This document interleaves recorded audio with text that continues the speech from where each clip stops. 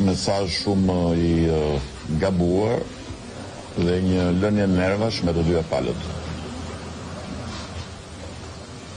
Prej më shumë se dhjetë muajsh, Sindikata e Kontrollorëve ka ngritur pretendimet e saj në mënyrë zyrtare dhe shkresore, jo vetëm ndaj Ministrisë dhe autoriteteve të aviacionit tonë, por edhe ndaj institucioneve të tjera, edhe ndaj partnerëve ndërkombëtarë, ndaj institucioneve europiane, ku ne jemi pjesë dhe kemi detyrimet tona, dhe cilat janë shumë të vëmendshme, për gjitha arsyet, për çështjen e sigurisë së fluturimeve në hapësirën tonë, që është dhe hapësirë e NATO-s njëkohësisht, dhe për fat të keq nuk ka patur asnjëherë një dialog midis përfaqësuesve të ministrisë dhe autoriteteve zyrtare përgjegjëse për këtë çështje. Unë jam njoftuar disa herë për këto çështje, kam kërkuar sqarime dhe kam dërguar dhe unë si institucioni i presidentit shkresa dhe duke parë problematikën si pa zgjidhje dhe njëkohësisht dhe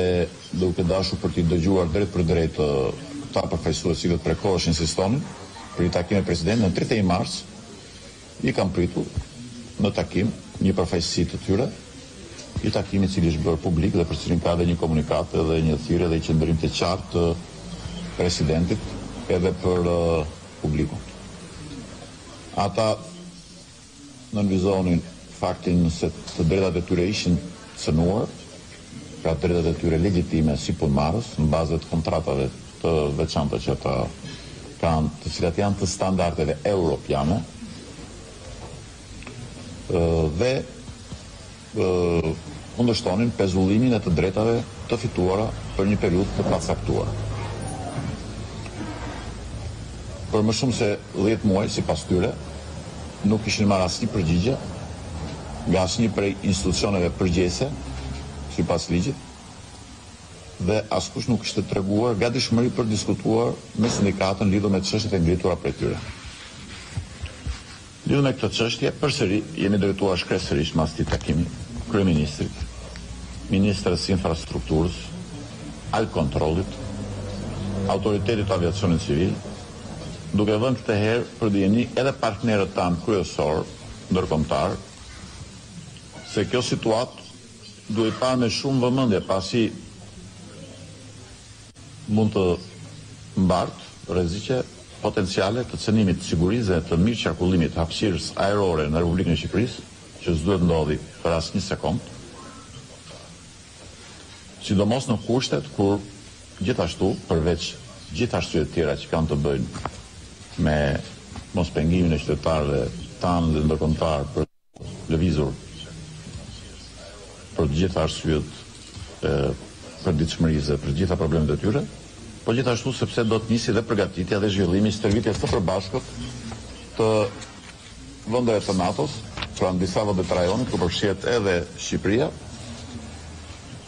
dhe ku pritet që trafiku ajror në vendin tonë të rritet ndjeshëm, si në fluturimet ushtarake, ashtu edhe në ato civile në funksion të atyre ushtarake. Ndërkohë që i kam kërkuar me përgjegjshmëri të plotë dhe i kam bërë apel kontrollorëve të trafikut ajror, që të vazhdonin të ushtronin detyrën e tyre pa asnjë ndërprerje dhe me përgjegjshmëri të lartë,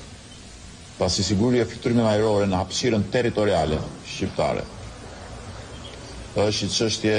jetike për qytetarët tanë, një çështje madhore e sigurisë kombëtare, por edhe detyrimeve tona si një vend anëtar i NATO-s dhe njëkohësisht edhe në nivel evropian. Në çdo kohë dhe pa ndërprerje, u kam thënë kontrollorëve, duhet të garantohet cilësia dhe objekti i punës së Albkontrollit për administrimin dhe kontrollin e hapësirës ajrore të Republikës së Shqipërisë për fluturimin ajror civil dhe ushtarak në përputhje me standardet e pranuara ndërkombëtare dhe u kam thënë,